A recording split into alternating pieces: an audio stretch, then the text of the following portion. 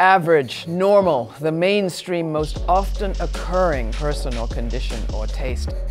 Over her long career, Jutta Treviranus has been pushing back against cultures, policies, and technologies that lead with the norm. Any one of us, she says, due to birth, situation, or accident, could find our most critical needs falling outside of what is deemed average and going unrecognized, unserved, unseen. As founder and director of the Inclusive Design Research Center at the Ontario College of Art and Design University, Jutta's work challenges the way we build software, make large-scale decisions, and even govern. If the majority rules, she says, then there will always be someone left marginalized. It's all coming up on the Laura Flanders Show, the place where the people who say it can't be done take a back seat to the people who are doing it. Welcome.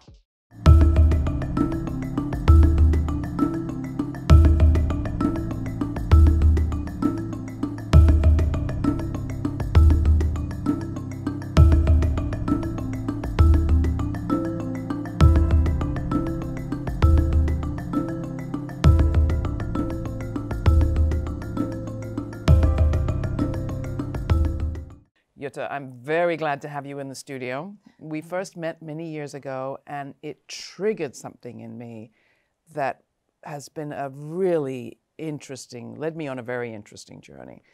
Where did thinking about these questions start for you?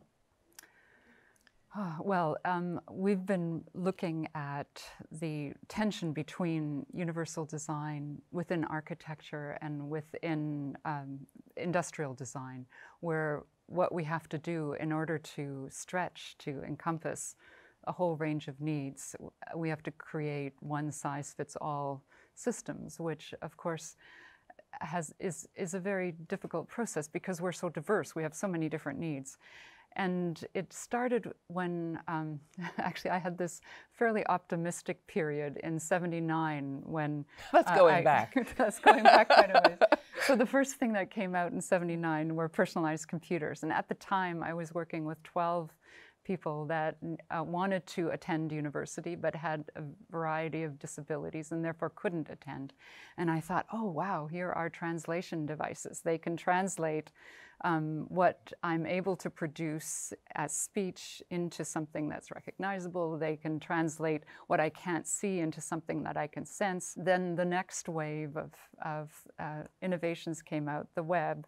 And here there was the opportunity to collectively band together and create resources.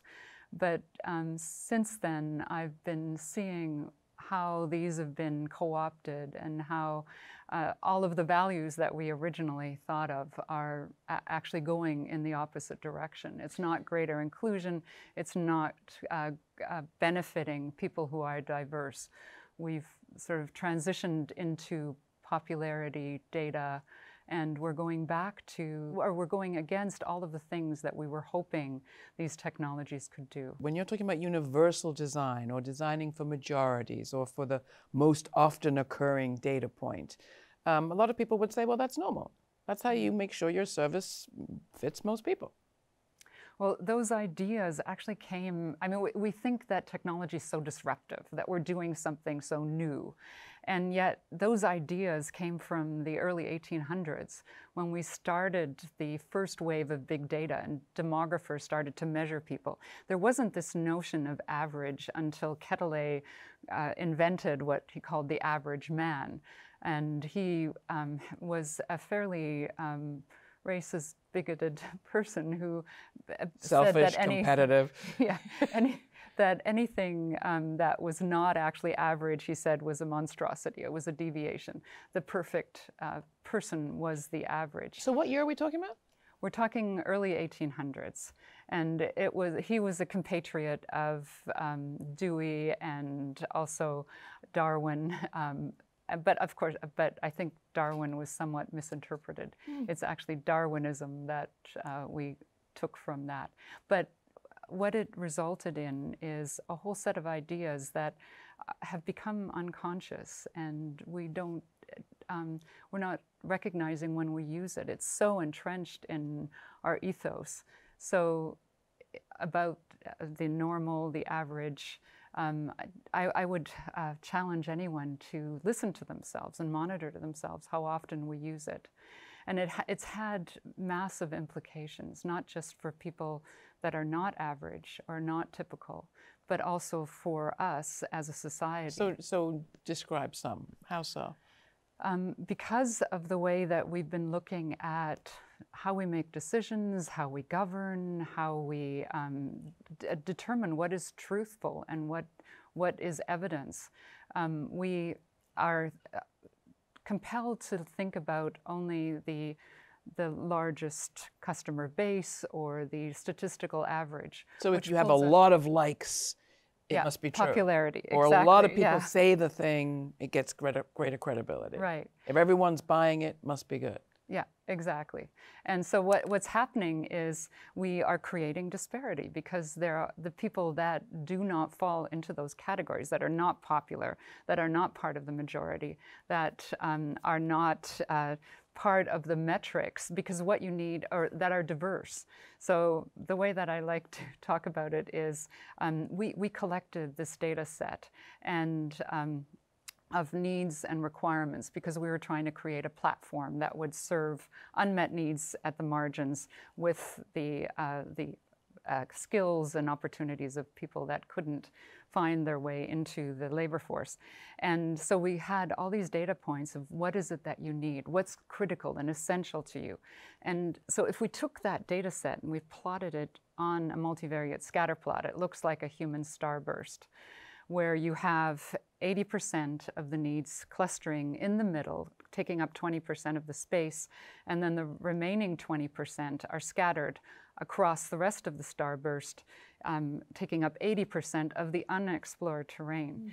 And so what, what's been happening with our manufacturing systems, with our knowledge, with everything, I mean, work, education, democracy, is that whatever we design works for that middle 20% of the terrain, or if, if your needs are within that middle 20%, mm-hmm. and that's 80% generally of the individuals. And as you move away, the, it starts to become difficult. And if you're at the edge, if your needs are at the edge, then it doesn't work. Out of that have come the, the waste that we have because we're all very different. Uh, what it compels us to do is to create a one size uh, a single sort of structure for the middle. It doesn't cause us to stretch or to innovate, and it doesn't uh, allow us to see the weak signals, especially in our knowledge systems. And so we are reducing the innovation. Um, one of the things that is frequently talked about when we're talking about the push for progress mm-hmm. uh, and the entrepreneurial sort of spirit is that Friedman curve, where we say that technology is adapting exponentially, people are adapting linearly. And the, that's supposed to uh, encourage us to become more digitally literate, for people to um, adapt much more quickly to the technology. But I think it's, it's actually um, a worse situation because I think the way that we've been designing our technologies is, is causing people to adapt less because we're exposed to, we're not exposed to dissonance, we're not exposed to diversity. Recommender sites, the popularity push that we're talking about means that we are making ourselves more and more comfortable. We're not adapting to the diversity that, that is around us. And I, I would say that there is another curve that's very similar in that technology is connecting exponentially. We're creating this mesh of connected technology, and yet our technical designs and our technical systems are actually causing us to connect less as humans, whether it's device-mediated systems or whether it's the, the disparity, the polarization that's so happening. So there's a huge amount in what you just said. And one of the things I think about is when you are trying to provide or produce for a mass, a mass system, and your country is as big as the United States, it sounds like what you're talking about is not unrelated to the growth of these enormous monopolies and the disparity between rich and poor, when because just by virtue of the matter of scale. The other question that I have, though, for you, or the other thing that makes me think about is we're talking about popularity and inaccuracies. And but your research has actually been about human life and driverless cars, things like that. Yes, yeah. So this isn't just conceptual failure. No, no. So yeah, there, I had one really pivotal moment when it just hit me. Whoa, where are we going? What are we doing here? Um, especially as a researcher that's uh, that's looking at data. Um, I was able to test uh, six driverless car learning models. So these are the learning models that are going to tell cars stop, change direction, or continue through an intersection. And I, I thought, okay, I'm going to test them with something unexpected, something unusual. So I had a capture of a friend of mine who pushes her wheelchair backwards through an intersection. She's really fast, she's very efficient, but most people think, oh my gosh, she's lost control, and they'll grab her and try to push her back to where she came from all six of them decided to run her over. They all said, wait, wait, it's okay. Um, these are not smart enough. We haven't exposed them to The companies all said, we yeah, just didn't yeah. have it quite right. Right, Come exactly. back. Yeah, come back. We'll get Um, better. We'll get better. And We'll get make them smarter. We'll we'll teach them more about people in wheelchairs and intersections. And so I came back um, after they had exposed them to a lot of data on um, people in wheelchairs and intersections. They thought they reported to me that they were much smarter. What happened is they ran her over with greater confidence because they all the data told them to be confident that people in wheelchairs go forward when they go through intersections. So the smarter systems are actually driving the smarts um, to not be uh, cognizant of the margins, not to be cognizant of those weak signals and those unexpected things. So is that as simple as algorithmic bias, which we've talked about in this program before, that, you, that, that your, own, your outcome is only as good as the data that you put in? Well, so this is what worries me because there's a lot of attention at the moment to AI ethics. And the, the two main things we're concerned about with AI ethics is let's remove human bias because we are biased. We are, I mean, if we take data about um, anything that we've done in the past, there is racism, there's sexism, there's all of those things. And um, let's remove that. So even if ideally we could remove all that, and, and the other area that they um, try to cover is the data gaps. Um, it's hi- highly unlikely that if you have a disability, if you're old, if you live in a rural, remote community, if you're not literate, that you're going to be part of a data set because you may not have the devices and researchers are- less likely to collect the data on you. Researchers usually exclude you if there's anything that might be unusual. We can address those data gaps and but if ideally we could have proportional representation, we could remove all bias, we're still in trouble. Why? Because the data that how we analyze the data and how we make decisions based upon that data is by majority rules and by statistical significance, which means that if you are not like the average, then probability is wrong. It's just wrong, and the decisions will be against you. And it doesn't serve us as a society or as humanity at all because we are therefore actually contracting. We're uh, we're taking our focus in. We used to be pioneers, right? And, and when we think about what does it take to survive as a society, it takes pioneering. It takes new, innovative uh, thinking. It takes ev- evolving, but we're devolving to some extent because we are um, pulling our all of our our insights, all of our focus into the average or the typical, and so, we'll miss the weak signals. In the media world in which I operate, the way that that plays out is that we are told, and when Facebook was putting in its new, com, you know, ways to combat fake news, they said, well, we'll make sure that we use majorities, you know, mainstream sources. The whole idea of mainstream, um, and they'll be the ones that are prioritized. And I thought to myself, well, if somebody like Ida B. Wells was around today, she would never make it into Facebook's algorithms because she was saying the exact opposite of what everybody had been saying about lynching Right. her analysis of what was happening, her reporting of what was happening, was that weak spot or strong spot, depending on how you look at it. She was sounding an alarm, which by nature means a new sound that you haven't heard before or not enough people have heard. Right. Exactly. So, how do you do this differently? Right. Yeah. And, and what are the implications for democracy? I mean, you're kind of dodging around it, but I'm kind of hearing democracy isn't a good principle. Well, it depends how we interpret democracy. Okay, democracy needs to be more than one person, one vote, because the issue is that um, w- the only thing that we're doing is we're counting the number of people as opposed to giving weight to the, the value or the criticalness of what it is they require.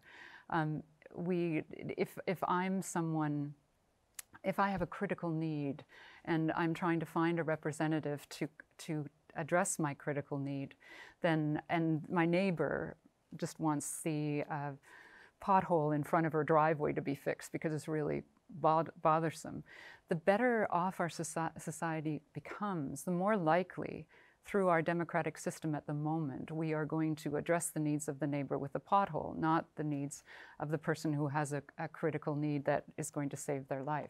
Because there will be less people aware of that, and there will be less people that will be voting for that. So we need to think about democracy in a much more nuanced way. And I know it's a really, really dangerous time to be criticizing democracy. But I think the problem is that when things get polarized and when um, there's we're um, under attack, we retrench and we lose self-critique. And I think the main thing we need to do as a progressive society, as individuals that are concerned about democracy, is to think about how we can evolve democracy and um, address mm. the issues that we have. Are there models coming from the world of criminal justice? Um, I had Dean Spade on the show at one point who talks about trickle up justice. And Kimberlé. Crenshaw talks about it too, but these are, are two progressive legal thinkers who are saying we don't want rights that we make for the vast majority and then add other people in. We need to secure the rights of the most vulnerable right, and the exactly. outliers, and in doing so, ipso facto, we're creating a better yeah. safety net for everybody. But is that directly applicable? I mean, it, can governments actually afford to do outlier driven planning? Well, I think it's the only way that we're going to be able to predict what is coming. And um, it's, it's not the, the majority that tells us what are the dis disruptive moments. I mean, you can see it in what are the innovations. I mean, all of the innovations came by looking at the edge and by trying to address the needs of the edge, whether it's um, email or even i mean even the web or the internet and things of that nature. All of the things that have in in essence caused us to evolve.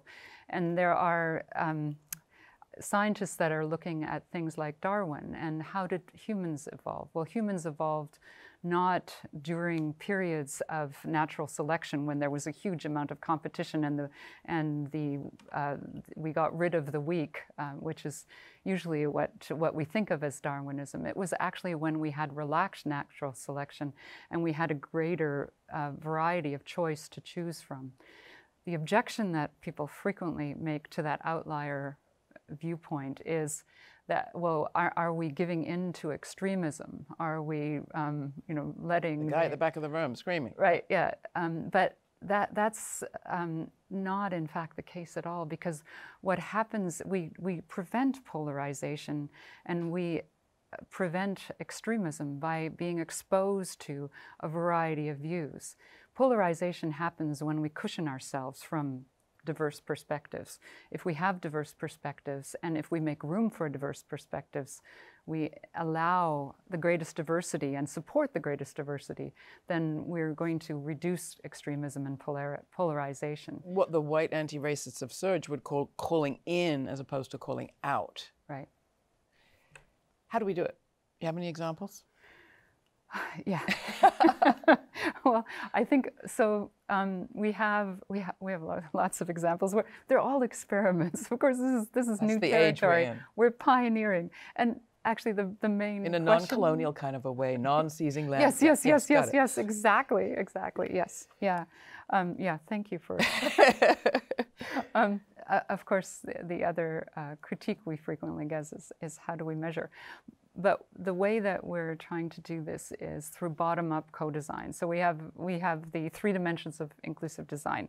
First of all, we have to start out by recognizing that we're all very, very different. Even that those group of people that are in that middle, that are average, that are supposedly typical. There isn't any average us Um, there isn't even an average you. Don't believe that Myers Briggs or whatever, co- what color is my whatever. My color scheme?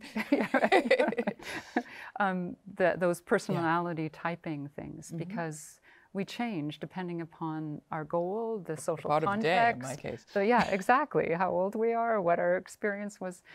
So um, we need to recognize that we're all very diverse. And we need to recognize the diversity in an integrated way. So we can't say, I'm going to deal with the, the, um, those that have economies of scale and then the rest afterwards if I get to them. It has to be integrated. Um, we also need to make sure that the knowledge about how we're different is imparted to the individual mm-hmm. um, and that because we need uh, a self-awareness of our diversity.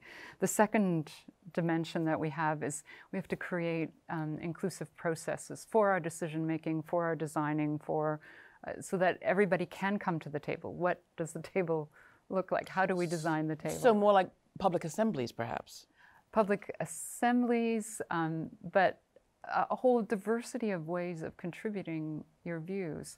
Uh, and we can't, it's not just about inviting people to a place that they didn't help to design.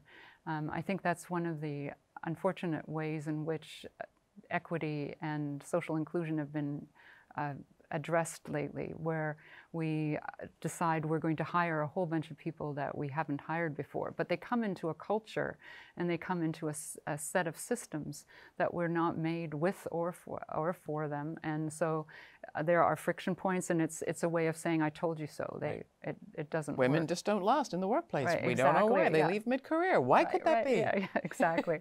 so we need to, to invite people to help us design those tables.